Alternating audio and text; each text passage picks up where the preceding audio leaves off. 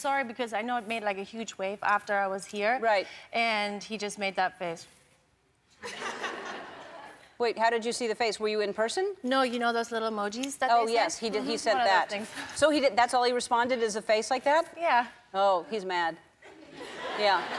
It's a long story. Don't worry about it. But but Yeah, it's reached so out long to that her. we should not start it again. Well, okay, we won't. Um, so Halloween is such a big, a big thing for you. This year you went as Fiona from Yes. Shrek, right? He was Shrek and I was Fiona. How long did this take y'all? It took probably, I don't know, like eight, nine hours. That's insane. Yeah, like I never, I always wanted to be Fiona. And I never had a Shrek, and now I had a Shrek. So I was like, "Will you be my Shrek?" And he said, "Yes, of course, I would love to."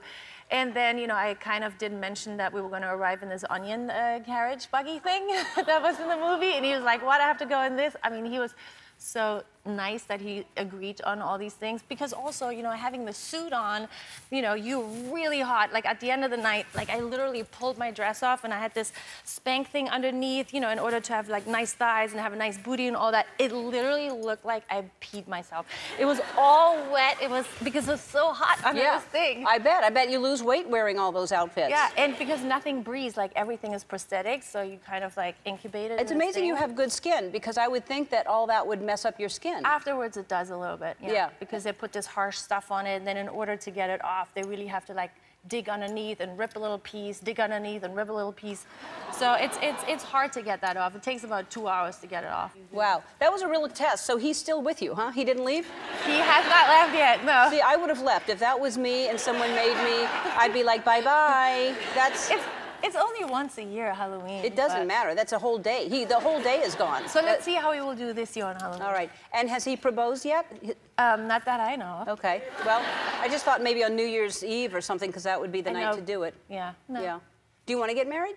Um, I've been married twice. No, I know, but do you want to get married to him? I still believe in love and the marriage. I Yeah. do, and I, I, you know, even though I've failed twice at it, I'm, I guess I'm not very good at it. But um, That's not true. You have to find the right person. You both have to be the right for each other. I found a great person. Yeah, So let's he- see what happens. Yeah, he hung out and was Shrek for you, so that's the. Yeah.